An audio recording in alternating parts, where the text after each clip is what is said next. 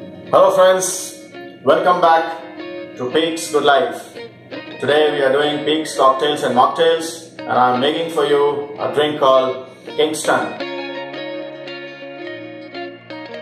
It's a nice blend of dark rum and gin. So let's get going. In a cocktail shaker, take a few cubes of ice, 45 ml of dark rum. This bag measure of mine is about 45 ml. There you go. 25 ml of gin. This is about 30 ml, so I'm using little less than that. Gin, there goes.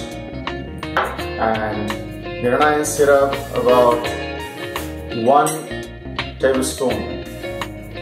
So this adds a nice little flavor and beautiful color to the drink. There goes grenadine syrup.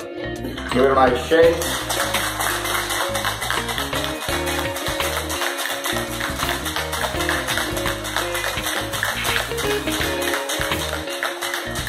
Chill.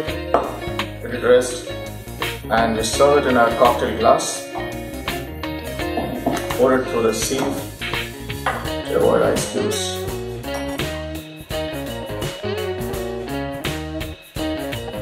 Unique color and lovely aroma of Kingston. Cheers!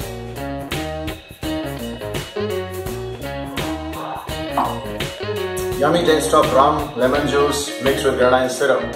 Thank you for watching. Do subscribe to my channel Peaks Cocktails and Mocktails on Peaks Good Life and share it with your friends and don't forget to press the bell icon. Thank you.